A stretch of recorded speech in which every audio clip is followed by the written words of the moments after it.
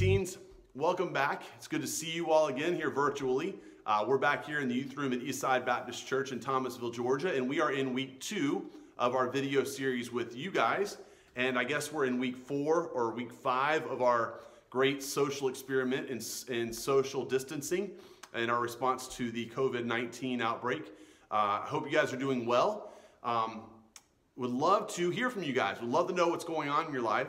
Uh, at the end of this session tonight, once again, I'll have my phone number and my uh, email address on the screen. I appreciate Sam responding last week uh, with his email address and his phone number, so I have a way of getting in touch with him and talking to him. I've been able to contact him a little bit. Apparently, the rest of you guys don't have a way to reach out to me um, because you didn't send me anything. So I'm going to go ahead and make that offer again this week. Uh, email me, text me, let me know what's going on in your life. I'd love to have a way to communicate with you. I'd still love to get together on Zoom uh, to be able to see your faces and, and just kind of hear from you how you're doing through this process. Uh, continue to pray for you guys. Again, would love to know if there's anything I can pray for specifically for you. And uh, uh truly looking forward to being back together again at some point. I know when this, when this is lifted. Uh, a couple of quick announcements. Uh, I wanted to say a quick congratulations to Abby Jackson for her 17th birthday this week. Abby, you're lucky. Uh, we're not together, so I can't make you stand up in the chair and have us all sing to you. And since I'm the only one in the room tonight, I'm not going to serenade you here. So you are very fortunate. Uh, no, no happy birthday to you. But when we do get back together again, those of you that have had a birthday will have the honor of coming up front, standing in the chair, and letting us sing to you. Uh, Abby, I hope it was a great birthday. Sorry we didn't get to see you, um, but uh, we are looking forward to getting together again when we get to the backside of all of this. Um, looking forward tonight to being in God's Word again. We're going to be looking at uh, the last week of Christ's life uh, here on earth. This is uh, the week between the Palm Sunday, which we, we celebrated last Sunday, and Easter, which we're celebrating this Sunday. is called the Passion Week or the Holy Week. It's the last week of Christ's life of ministry here on the earth. And so we're going to spend some time in Mark 14 tonight looking at one of the last days of Jesus' life here on earth. And it, and it gives us a, a perspective, a look into his heart for us and God's love for us.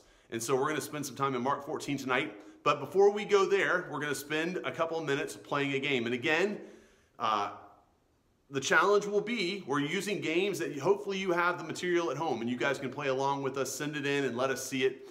And uh, we'll, we'll include you in next week's video. So we're going to take a moment, switch things up, and get our set set up. And then we'll play a couple minutes win it games. And then we'll come back on the backside and spend some more time here in God's Word. Welcome back to our second week here on our world famous set of Minute to Win It games. We are excited to introduce you to two new games. Now, we're using games that you should maybe have stuff at home that you can play along. And oh, that reminds me. So uh, last week, we had a, uh, uh, what, was the, what was the game we played last week? The, oh, the cookie slide. The cookie. Face the cookie. Played Face the Cookie. Uh, and I challenged you guys to, um, to see who could beat our two cookies in a minute. Elena and I both uh, finished with two. Uh, Alyssa finished with zero, and Ansley finished with zero. And uh, the challenge was to, to record it. If you could prove that you did more than two in one minute, uh, we would declare you the winner, and we'd include your video in this week's video. So I have a $20 cash prize. I want to give congratulations to this week's winner. Give me a drum roll. Me and Elena, because None of you guys sent anything in. So this $20 cash prize goes into my pocket. I appreciate you not playing so I can win. Uh, and uh, just a reminder, we will be playing again this week. I don't know what next week's prize will be. Uh, I will tell you, I heard through a little bird that some of you guys said that they were not going to um, submit videos of them trying to manipulate their face to get a cookie from their eye to their mouth because they might look silly. So uh, I don't know who that might have been. But uh, Abby Jackson, I, I, am on to you. I know what's going on. So, hey, submit, play along. If You can play any of these games. This week's we have two different games, and they're going to be a total time. So you'll have to video two different games. This one's called Stack Attack. We have 21 solo cups. Uh, you can use any similar size cups. And the object of the game is when we say go, you're going to stack. The first layer will be six wide, second layer five, four, three, two, and one. Once, that once the top cup is on, and stays on for two seconds. Then you restack them down and eventually get them back into the stack like this. When you are done, you stop your timer. Uh, Alyssa's got her clock, her watch, I've got my watch. So we are going to be racing against each other. Now, that it's going to be a total time of both games. So this game plus your time in our next game, which we'll introduce as soon as this one's done. So, you ready? Yes. You understand I'm what we're ready. doing? I do. Stacking six high, six levels high, all the way up. If a cup falls, you got to get it back up and on there. And that top one's got to sit on its own for, for two seconds. Seconds? Yep. All right, you ready? Are you starting your timer? I, I got you. On your mark. Oh, you know, we don't have our minute to win it. Oh, well. So just imagine the minute to win it soundtrack going on in the background. Ready? On your mark. Get set. Put your cup on the table. Oh. Mark. Get set. Go. Sing it for us, Alyssa. Good. Six. Oh, shoot. One. Two. Six on the bottom? Six on the bottom. Four. Five. Three. Well, I need to check my watch to make sure it's functional. Uh-huh. Uh-oh, that's not good. I've got Alyssa. Oh, don't, don't knock the table. Two, one. All right, one on top. Sit for two seconds. One, two. All right, then slide them down, slide them down. Alyssa, meanwhile, is disappearing under the table. All right, stacking them. Oh, uh-oh, guys, get them all stacked. This is not working. Dun, dun, dun, dun. Dun, dun, dun. Dun, dun, dun, dun. dun. All right. So simple game. Six or six rows high. You saw how the expert did it. You saw how not to do it. This was Alyssa's. Alyssa was not to do it. Uh, our next game. So set that one aside. That was called Stack Attack. This one's called Separation Anxiety. We have a bag of Skittles. Everybody take a bag of Skittles, and we have five cups because there are five colors. Am I right on that? I believe so. blue, pink, purple, green, blue, pink, purple, green, and red. So five colors, five cups. What you have to do on your video, when we say go, we'll start the timer. You have to take the you have to take the bag, you have to open the bag, you have to pour all the contents on the table. Slide over so you're not getting into mine. And then you have to separate the Skittles into colors into five different cups. Five different cups, each for a color. Time starts when you rip the bag. Time finishes when the last Skittle goes in the cup. All right? And the great thing is, guys, if you play along, just get something you like and you can eat them when you're done. Oreos last week, Skittles this week. See how it works for in our family. All right, ready? On your mark. Get. re- you see that? Oh, by the way, Alyssa's time last time was 41.72. My time was 33 and a half seconds. So she's got to make up eight seconds in this game. I think I'm doing it right. Ready? On your mark. Get set. Go. Oh, oh, there's a lot of Skittles. Yeah. Okay, red, pinks. Oh Lots of oh, wow. This is okay. Do I have a strategy? I got, I got strategy. I'm not gonna tell you my strategy though. Oh man, I don't think I'm gonna. You're not gonna make that eight seconds on me. Yes, I am. Oh, stink. Anything that falls on the floor, you gotta track down. Nothing's falling. Oh. Are you kidding me? That's not good. That's not good. Taking time. Yes, I am. Step in eight seconds. Done. That is not right. Think. Come on. Oh wait. All right. Wait. What do you have? None of your business. All right, so that's the game. All right, so what you guys do? Uh, so our times today. Oh. Alyssa, oh. what was your time total? One fifteen. Point one four. Point one four. And uh, my total time was 116. So uh, I think I just was slow. See, I had to start the clock and then tear my, my, my bag. So she had a little bit of an advantage. I had to too. Check your colors. All right, so fair and square. Alyssa wins this week in our in-studio games. Make sure you record your videos, send it in to us, have fun doing it, and uh, see if you can beat our time. Uh, send in your video, and uh, we'll include you next week. All right, we'll be right back.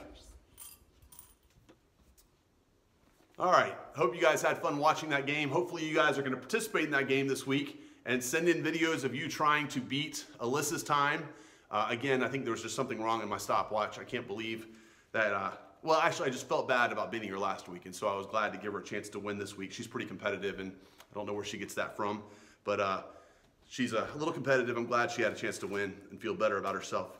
If you have your Bibles or you have your phone, go ahead and turn with me to uh, Mark chapter 14. Mark is the second book in the New Testament Matthew, Mark, Luke, John. Uh, we are, uh, it's, it's, it's one of the four Gospels, and we've talked about the Gospels before. These are the, the, the narrative books that explain Christ's ministry here on earth. Mark was the earliest one written, uh, probably uh, written about 70, 60 AD, sometime in that period, about 20 or 30 years after Christ's death. And it gives us a narrative of Christ's life here on earth. And chapters 15 and 6, or chapters 14 and 15 of the book tell us about the passion uh, the week of Christ's, uh, the last week of Christ's ministry here on earth, moving into his death and resurrection. And we're going to spend a few minutes tonight, Mark chapter 14. We're going to look at some, some of the ways, some of the things that Christ was experiencing in his last week uh, of ministry. And then we're going to look at his, his, his prayer in the Garden of Gethsemane. Uh, it was the, uh, the night before his trial and his crucifixion. Jesus was very aware, being the Son of God, knowing all things, he was very aware of what was about to happen. And we see that through Mark chapter 14, this, this awareness, this, this looking ahead, this, this anticipation of the cross. And we see Christ's humanity revealed in his desire to spend time with friends in the last couple days of his ministry, and then his love for his disciples in the, in the, in the Lord's Supper, the Last Supper that he had before going out to the Mount of Olives to the Garden of Gethsemane. And so we're going to spend some time in that tonight. But first, before we get into that, let's pray quickly. Father, we are again grateful uh, for this week, Lord. In the life of a believer, this is an important week, the week um, of the Passion, Father. 2,000 years ago, you were expressing your love for us by living out the last week of your life in ministry here on earth and anticipating the reality of your death, your substitutionary death on the cross for us. Father, we're grateful for the love you displayed throughout your ministry. But Lord, as we get to this last week, we see your, your focus on the cross. And Lord, we know that that uh, focus uh, looked through time and saw us here 2,000 years later. Father, your death on the cross was a, a willing uh, sacrifice for the sins that I've committed, for the sins that our group has committed, Father. And it was a desire to restore relationship with us. And Lord, as we as we dive into that tonight, as we spend this week focused on uh, your uh, death and resurrection on Sunday, Father, I pray that in the background we'll never forget the fact that it was driven by love, love for us. And Father, never uh, in any circumstance in life should we doubt your love for us as we see your love displayed through your your substitutionary death on the cross. Lord, we love you. We thank you for your love for us. I do pray for each of these young people, Father, and the things that are going on in their lives. Uh, Lord, uh, you know circumstances, you know what's going on. And so, Father, I pray that you'll work in their lives this week to make yourself known to them. And, Father, that as they uh, hear your word taught tonight, as they hear sermons going out on Sunday, Father, as, as, as Easter is celebrated worldwide, God, I pray that the truth of the gospel, the good news of, of your word, uh, will prick their hearts, Father, and drive them forward in their relationship with you like they've never been before, Lord. We love you. We thank you for your love for us. In Christ's name we pray. Amen.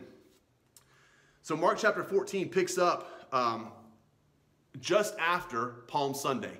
Uh, Palm Sunday was what we celebrated last week, and that was Jesus' triumphant entry into Jerusalem. The Passover, uh, um, the Passover holiday is going on in Jerusalem, and Thousands of people have flocked to the city, and Jesus uses that time to enter into the city. And it's the first time in his ministry we see Jesus accept the public adoration of his kingship. Uh, at other times in his ministry, when people acknowledged the fact that he was king, he usually pushed that to the side and asked them not to tell others.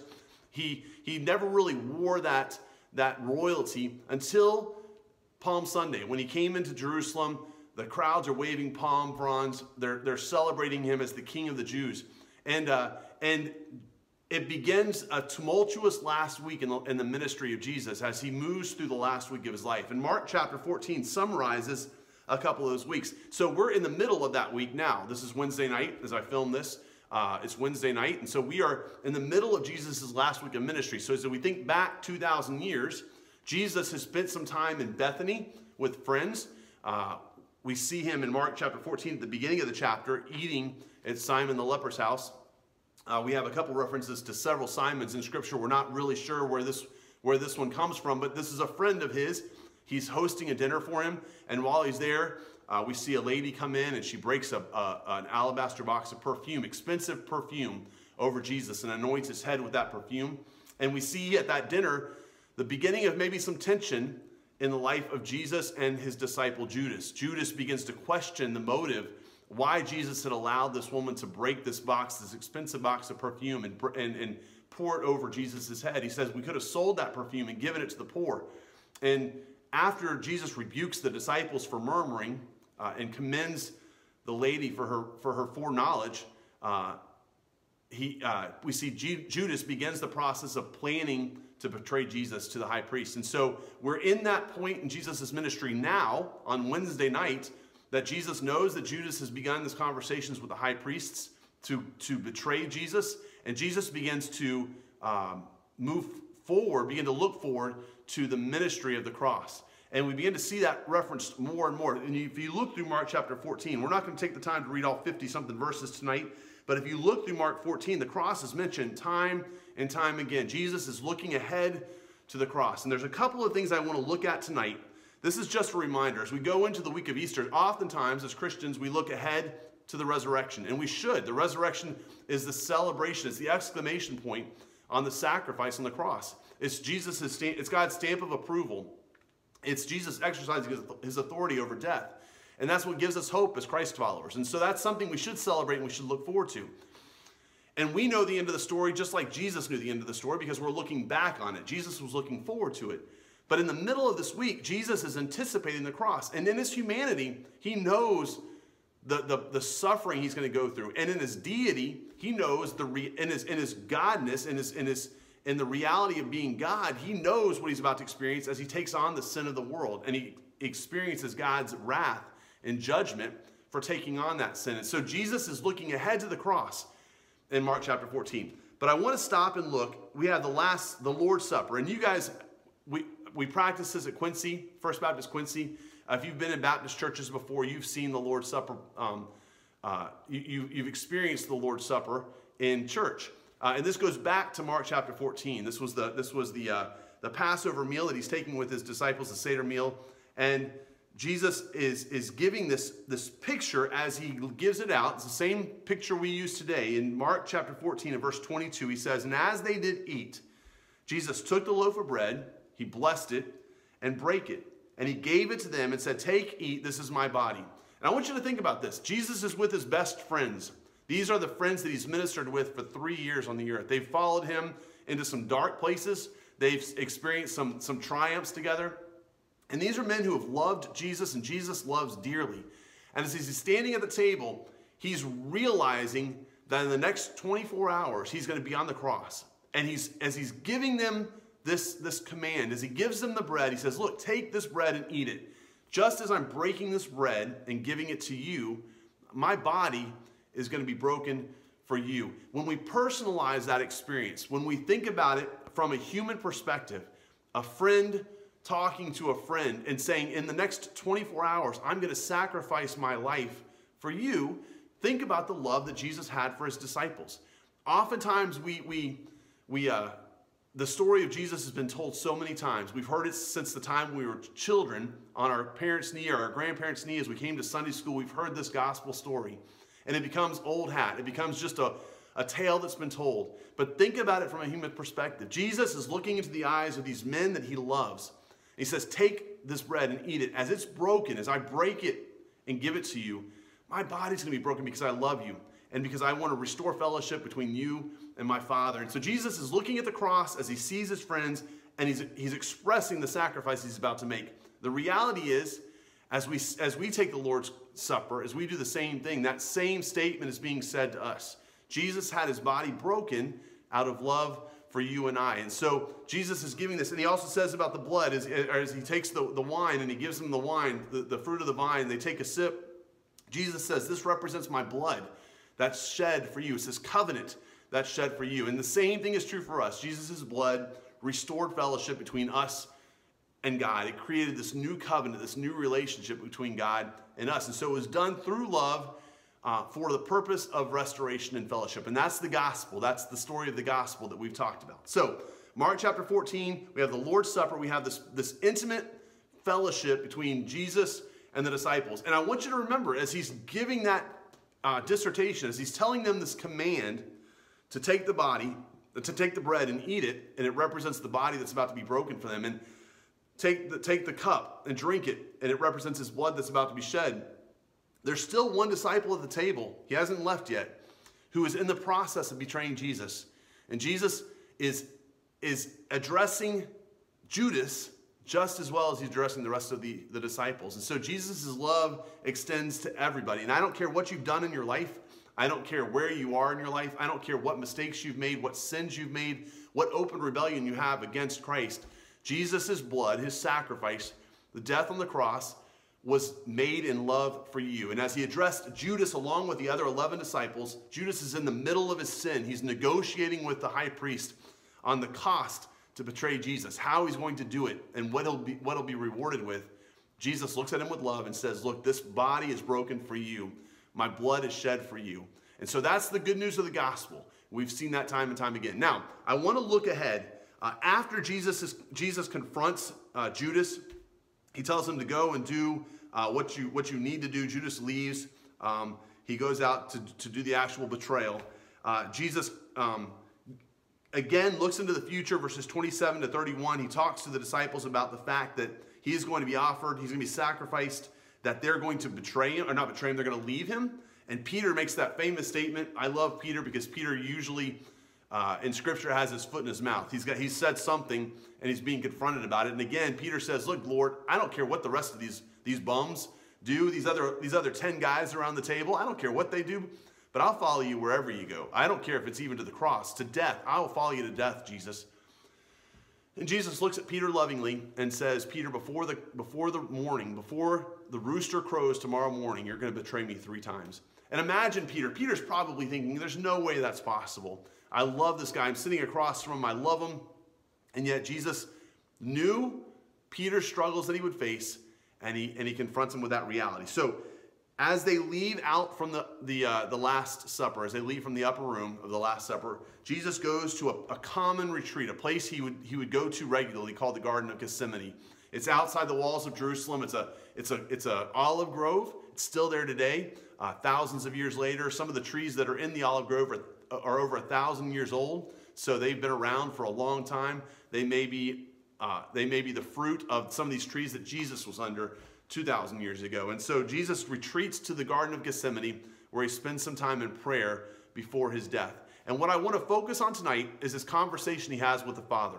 It's, it's a prayer that Jesus has with his Father. We're going to look at Mark chapter 14, look at verse uh, 32. It says, They came to a place which was named Gethsemane, and he said to his disciples, Sit you here while I pray. He gives he gives nine of his disciples, I'm sorry, eight of his disciples the command to sit here while I go and pray. And he takes his three, his closest three. He takes Peter, who he's just told is going to betray him, James, and John. And he begins to be sore amazed, it says, and to be very heavy. The weight of the cross, the weight of the reality of his separation from the Father for the first time in eternity, it starts to weigh heavy on, on Jesus as he separates out from, from, the eight, from eight of his disciples and takes three of his closest friends with him, they begin to see the weight of the sacrifice that Jesus is about to make. And it says in verse uh, 34, it says, He says unto them, Peter, James, and John, My soul is exceedingly or exceeding sorrowful unto death. Tarry you here and watch. Wait here, watch, and pray. I'm struggling, guys. And, and, imagine the intimacy of this moment. Jesus has been their anchor and their rock for three years now. Uh, they've watched Jesus weather storm and trial, uh, using this, this amazing calm in, in the midst of trials and circumstances. In, in the midst of storms, he had this calmness and this authority that he spoke over. And in all of these circumstances, they've never seen him the way they see him now. And he says, Guys, I need you to wait here. I need you to watch and pray. In verse uh, 35, it says, um, and he went forward a little. He went a, a little farther, farther, uh, farther away. In, in another gospel, it says he went about a stone's throw away. And he fell on the ground and he prayed that if it were possible, the hour might pass from him. That, that hour, that hour of separation from God, that, that point in history where Jesus the Son is separated from God the Father for the first time in eternity. And he looks into that point and he says, God, if there's any way Here's the prayer. He says in, in verse 36, and he said, Abba, which is that intimate term that fathers love to hear. It's that little child coming and saying, Daddy. It's that term of endearment, Abba, Father. All things are possible with you. Take away this cup from me. He makes this, this fervent request. I'm a dad, I've got five kids. Think about this. Your son or your daughter, as a father, comes to you and you see him in agony. He's, he's, he's on the ground, he's, he's he's burdened about something and he pleads, he looks up and says, Daddy, please. Or she says, Daddy, please, you can do this. You can help me. You can take care of this. Let this cup pass from me. Let this trial move forward. Don't make me go through this process. As a dad, I can't imagine that position. I would move heaven and earth to get my child out of that moment. Jesus is on the ground. He's pleading with his father, saying, Father, I know you can do anything. Anything is possible with you. Please take this cup from me. But then he makes the ultimate uh, confession of submission. He says, But nevertheless, not what I want, but what you will. And that's Christian living, right? That's the, that's the model we've talked about. That's submission to the authority of God. And Jesus exhibits it in his darkest moment, pleading with God the Father, take this cup from me. And ultimately submits to the fact that God's will occurs and not his. Uh, think about it. Why, why would God not grant Jesus' request? We know God's all powerful. Uh, Jesus was, was appealing to the character, the character of God and saying, You can do all things, you're all powerful. Take, if it's possible, let this cup deal with salvation another way. Find another way for restoration. If it's possible. We know from Scripture that the reason, G, that the reason God didn't answer Jesus' prayer was out of love for me and for you. In John 3:16, the verse we all can quote, it says, For God so loved the world that he gave his only begotten son. He sacrificed his only son. He turned a deaf ear to Jesus' prayer in the Garden of Gethsemane because of love. Guys, I don't know what you're going through right now. Look, we're, we're dealing with some trials in life with the coronavirus. Um, you know, work may be cut back. Some of you may be work, dealing with parents who are not working as much. Um, school has been canceled. Uh, you're not able to hang out with friends. Jobs are not going on. Uh, summer plans are starting to get canceled. Um, those are big deals. That's a big. Those are big circumstances. Some of you may be dealing with bigger things. Uh, some of you may have sickness going on in your life or in the life of someone in your family. Uh, some of you guys may have um, uh, just heavy things weighing you down. Nothing we experience in life, though, guys, should cause us to doubt the love of God. I want you, whatever circumstance you're in, whatever's going on in your life, or wherever you are in life, someday in the future, when Satan brings something into your life and it seems too heavy to bear, I want you to think back to this moment for Jesus in the Garden of Gethsemane, where Jesus is pleading with the Father and says, Daddy, please, please, God, you can do anything. Take this away from me. And God rejects that prayer because God so loved you. That's the story of the gospel, you guys. As we celebrate Easter, as we celebrate the triumph of Easter, I want you to remember this moment in Christ's ministry. I want you to remember the moment where God's love reached out through time and saw us and said, I am going to make a way. And that's the story of the cross. That's the story of this week. As we, as we, as we kind of ride through from Palm Sunday to Easter Sunday, a lot's happening in the life of Christ. And you can read about it in Matthew and Mark and Luke they all carry this week and they tell a lot about what Jesus went through in this week.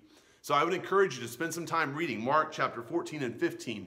Uh, I think it's Matthew 26, um, uh, Luke late in the late in early teens, late um, late tens, somewhere in that area. There's these stories of Jesus' last week of ministry, and there's some heavy stuff that goes on in Jesus' life, and it's all done in preparation for the cross, which was done to restore relationship between you and the Father. What a wonderful truth the gospel is. I pray that you've experienced that gospel. Uh, I know you guys, I've been teaching you guys for about a year now. I know some of you have a clear testimony of your salvation, and that's a wonderful thing. Some of you, I haven't, I haven't heard your testimony. So, my prayer for you is that you've reached this point where you recognize that God loved you and that you uh, have, ex- have accepted the love of God and have submitted your life to Him and you're moving forward in your Christian walk. No matter where you are, guys, use this passage as a point of encouragement. I will tell you, it goes on. Uh, the story goes on. Jesus goes back to meet Peter, James, and John in Mark chapter 14 uh, and verse 37. After he submits to God's will, he says, and he comes and finds them sleeping. Peter, James, and John, his best friends, who he's asked to stay and watch and pray. He comes back in this moment of greatest need and finds them sleeping. And he wakes them up and says, Why are you sleeping, Peter? Couldn't you watch with me one hour? He asks them again, Watch and pray lest you enter into temptation. The spirit is ready, but the flesh is weak. I think that's said in reference to, to Peter's future denial. Um, some people believe it's talking about Jesus' struggle with the cross or with the, with the weight of the cross. Uh, but he, he gives him that challenge. He goes away again. He prays and spake the same words he prayed before Father, if it's possible, let this cup pass from me. And again he returns and finds them asleep. Their eyes were heavy. They didn't know how to answer him, it says. And he comes the third time and said to them, Sleep on now and take your rest. It is enough. The hour is come. Behold, the Son of Man is betrayed into the hands of sinners. And that's leading into Jesus' arrest. He leaves, he came into the garden a free man, weighed down with the burdens of the world. He leaves the garden in chains, arrested, and on his way to trial, which would eventually lead to his crucifixion. And he did it all because he loves you and he loves me. And that's the great news of the gospel. Guys, I can't wait to see you again. Uh, I'm going to ask you one more time. If you got a phone number or an email, please send it to me. Uh, I'm going to put my stuff on the screen again. Uh, I'd love to hear from you. Uh, if you can, if you do the challenges, send them in. We'll have, a, we'll have a prize again next week. Probably won't be a $20 cash prize, but hey, um, we'll have some type of prize for the winner if you get it in under Alyssa's time, which I can't remember what that was. But I uh, hope you guys are doing well. Looking forward to hearing from you. And again, I'd love to have a Zoom call. I'd love to get us all together. I'd love to see your faces and know what's going on. So contact me, let me know a way to get a hold of you. Hope you guys are doing well. We'll talk to you guys soon.